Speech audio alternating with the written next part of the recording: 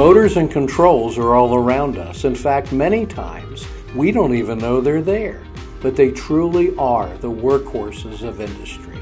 So, how about if we take a look at how motor control contactors and the electrical contacts in them function?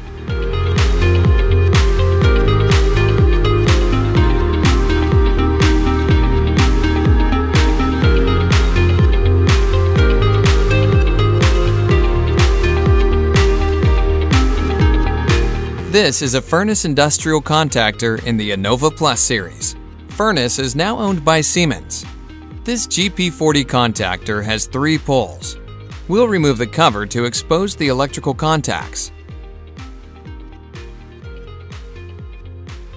A typical operation begins with pushing the green start button to energize the system. The electrical current goes to the coil. A coil is simply copper wire wrapped around a magnetic core.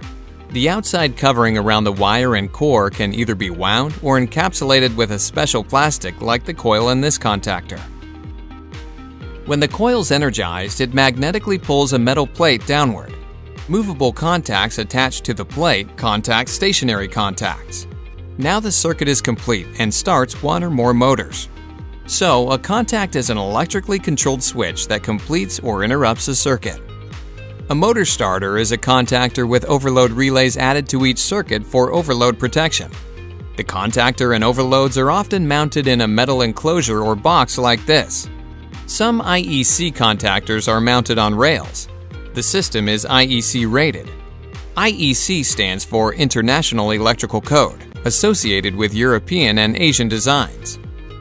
This code must be followed when running wire and making connections in various applications.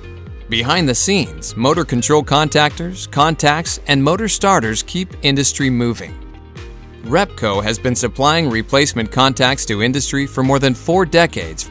We're a leading source for replacement motor control contacts, coils, and contactor parts. Repco, sharing success with our customers.